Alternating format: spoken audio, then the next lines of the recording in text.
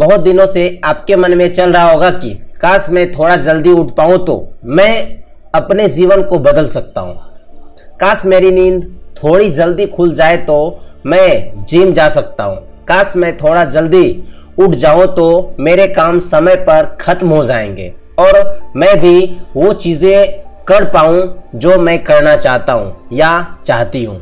लेकिन आप ऐसा नहीं कर पा रहे क्योंकि आपको वाकई में इसके फ़ायदे नहीं पता है। आपने ज़रूर सुना होगा कि दुनिया के जितने भी सफलतम लोग हैं, जितने भी महान लोग हैं, वो सभी के सभी अपने दिन की शुरुआत सुबह चार बजे से पाँच बजे के बीच में कर देते हैं। और क्योंकि वो जागने में पूरी दुनिया से आगे, इसलिए बाकी कामों में भी वो पूरी दुनिया से आगे ही रहते हैं।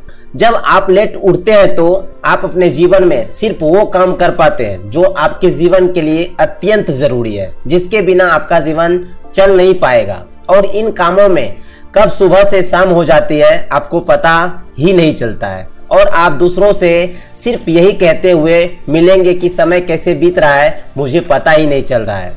और ऐसा इसलिए कि आज भी आप वही काम कर रहे हैं जो पहले कर रहे थे, जबकि आप उसे बदलना चाहते हैं।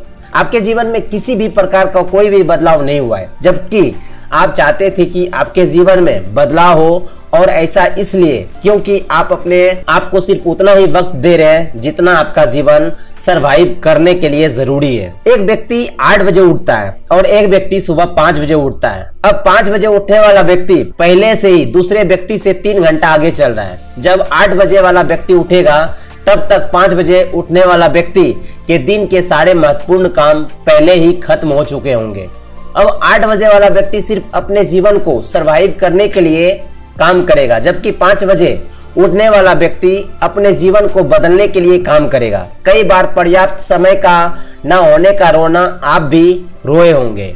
आपने भी कई बार अपने मित्रों को कहा होगा कि मेरे पास वक्त नहीं है, नहीं तो मैं ऐसा कर डालता। लेकिन अगर आप वाकई में अपने आप से पूछने बैठेंगे कि आपके पास वक्त क्यों नहीं है तो आपको जवाब मिल जाएगा कि आप बहुत समय से सुबह जल्दी उठना तो चाहते थे, लेकिन उठ नहीं पा रहे सुबह जल्दी ना उठने का एक और कारण आप अपने दोस्तों को ज़रूर दे रहे होंगे कि आप सोने में लेट हो जाते हैं, इसलिए सुबह जल्दी नहीं उठ पाते। लेकिन ये बात आप बहुत अच्छे से जानते हैं कि आप वक्त पर सभी काम समाप्त कर लेते हैं तो आप भी समय पर सो पाएँगे। बहाने बनाना तो हमने जैसे अपना धर्म बना लिया है। जो भी चीज़ हम अपनी लाइफ में नहीं कर पाते हैं, उन चीज़ों के लिए हमारे पास पहले से एक बहाना रेडी होता है। सुबह जल्दी उठना आपको कष्ट देता है, पीड़ा देता है, तकलीफ़ देता है। अपने आप से ही कहने पर मजबूर करता है कि सो जा थोड़ी देर और सो जा। देख तेरा शरीर कितना थका हुआ है। जल्दी उठकर भी तू क्या कर लेगा? थोड़ी देर और नहीं सोएगा तो तेरा पूरा दिन खराब हो जाएगा। और यही अपने अपने दिल, दिमाग और मस्तिष्क में फिट कर लिया है। आप सुबह जल्दी उठ सकते हो। लेकिन सिर्फ़ तब, जब वाकई में आप अपने जीवन को पूरी तरह से बदलना चाहते हो। इसके लिए जोश भी लगेगा, जुनून भी लगेगा और मोटिवेशन भी लगेगा। सुबह उठने के बाद हर व्यक्ति को आलस आता है, लेकिन अपने आप को समझना होगा कि यदि आज नहीं तो कभी नहीं। यदि आप वाकई में चाहते हो कि आपके सपने सिर्फ़ अलमारी में बंद रहे तो फिर ठीक है, आप जियो अपनी ज़िंदगी को उन 90 परसेंट लोगों की तरह हो, हर सुबह उठकर बहाने बनाते हैं। कोई व्यक्ति तुम्हें रोकने नहीं आएगा, कोई व्यक्ति तुम्हें टोकने नहीं आएगा, कोई व्यक्ति तुम्हारी नींद खराब करने नहीं आएगा।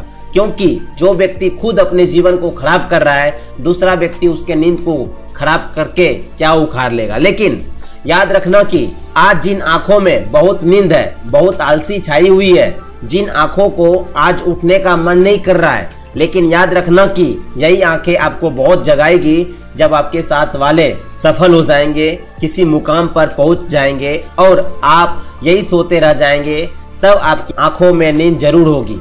लेकिन आप सो नहीं पाओगे।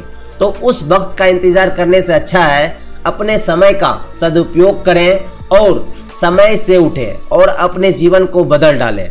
यदि ये वीडियो आपको पसंद आया तो वीडियो को लाइक कीजिए, अपने दोस्तों के साथ ज़्यादा से ज़्यादा शेयर कीजिए। और अभी तक आपने चैनल को सब्सक्राइब नहीं किया और आप चाहते हैं इसी तरीके का वीडियो देखने के लिए तो चैनल को सब्सक्राइब करके बेल आइकन को प्रेस कर लीजिए। इसी तरीके के मोटिवेशनल वीडियो सुनने के लिए चैनल को ज़रूर सब्सक्राइब कर लीजिएगा। तो साइनिंग ऑफ़ सक्सेस लाइव